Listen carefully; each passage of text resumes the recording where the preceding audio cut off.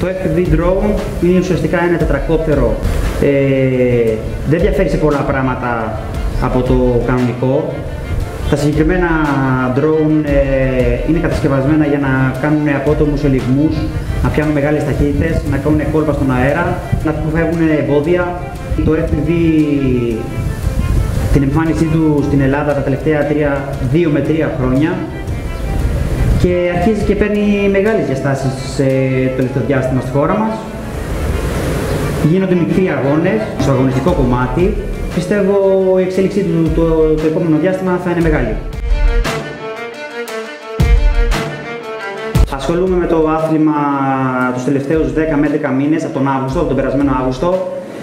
Το, το τελευταίο τετράμινο έχω κάνει κάποιους αγώνες ε, πάνω στο μηχανοκίνητο εθελισμό, σε κάποια track day, drift, ε, κάποια, κάποιους αγώνες ε, super motard που είχαν ε, γίνει εδώ στη Σπάρτη.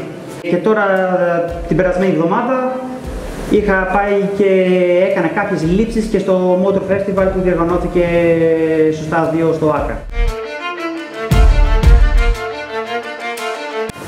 Ο στόχος μου είναι να το εξελίξω όσο πιο πολύ μπορώ, γιατί είναι ένα πολύ όμορφο χόμπι, πολύ δυνατό χόμπι, έχει τα ωραία του, έχει τα άσημά του. Θα πρότεινα σε όλο τον κόσμο να το ξεκινήσει, πάντα με προσοχή, γιατί όπως είπαμε έχει τα μειονεκτήματά του, έλικες είναι αυτές γυρίζουν. Όπως είπα θα μπορούσε να το ξεκινήσει οποιοδήποτε και θα μείνει ευχαριστημένος πολύ.